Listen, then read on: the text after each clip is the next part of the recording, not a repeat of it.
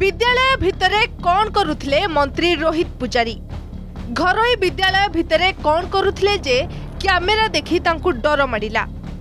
School ଭିତରେ କି କାମ ପଡ଼ିଲା ଉଚ୍ଚଶିକ୍ଷା ମନ୍ତ୍ରୀ ରୋହିତ ପୂଜାରୀଙ୍କର? ଏହାକୁ ନେଇ ସୃଷ୍ଟି ହୋଇଛି ଅନେକ ପ୍ରଶ୍ନ। ପଦମପୁର ଉପନିର୍ବାଚନ ପାଇଁ ସମଗ୍ର ଅଞ୍ଚଳରେ ଆଦର୍ଶ ଆଚରଣ ବିଧି ଲାଗୁ ହୋଇଥିବା ବେଳେ ମନ୍ତ୍ରୀଙ୍କ ଏପରି କାମ ଦ୍ୱାରା ଆଦର୍ଶ ଆଚରଣ ବିଧି ଉଲ୍ଲଂଘନ ହେଉନାହିଁ କି? ଘରୋଇ ସ୍କୁଲ ଭିତରେ ମନ୍ତ୍ରୀଙ୍କର ଲୋକଙ୍କୁ ନେଇ ମେଳି କରିବା ପଛରେ କ'ଣ ରହିଛି ଉଦ୍ଦେଶ୍ୟ ତାହାକୁ ନେଇ ଏବେ ବଡ଼ ପ୍ରଶ୍ନ ଚିହ୍ନ ଲଗାଇଛି।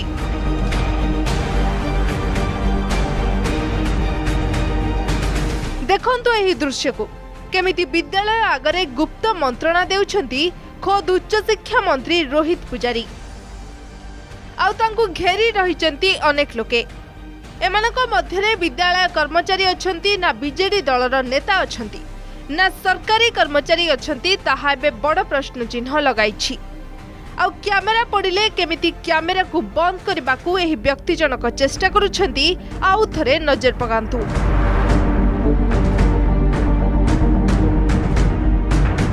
ଧାମନଗର ଉପନିର୍ବାଚନରେ ପରାଜୟ ହୋଇ ବିଜେଡି ତାର ଟ୍ରାକ୍ ରେକର୍ଡ ହରାଇଛି। ଜିତିବାର ରେକର୍ଡର ବ୍ରେକ୍ ଫେଲ୍ ହୋଇଯାଇଛି।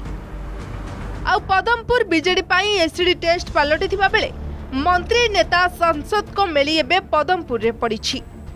ଆଉ ସ୍ଥିତି ଏମିତି ହୋଇଛି ବିଜେଡି ପାଇଁ ଗୋଟିଏ ୱାର୍ଡ ଜଗିଛନ୍ତି ଗୋଟିଏ ଲେଖାଏ ମନ୍ତ୍ରୀ।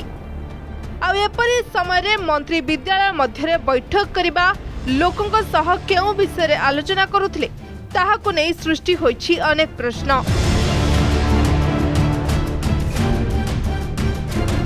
ମନ୍ତ୍ରୀଙ୍କ ଏପରି କାମ ଆଦର୍ଶ ଆଚରଣ ବିଧିକୁ ଉଲ୍ଲଂଘନ କରୁନାହିଁ କି?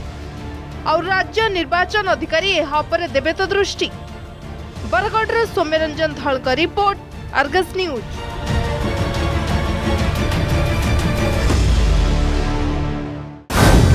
ମନରେ କୋହ ଓ କ୍ରୋଧ।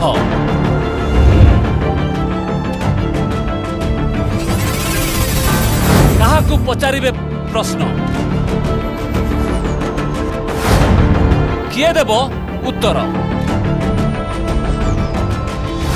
ଆପଣଙ୍କ ପ୍ରଶ୍ନର ବେସାଲିସ ମଞ୍ଚ। ପ୍ରଶ୍ନକାଳ ସୋମବାରରୁ ଶୁକ୍ରବାର ରାତି ଆଠଟା ତିରିଶ।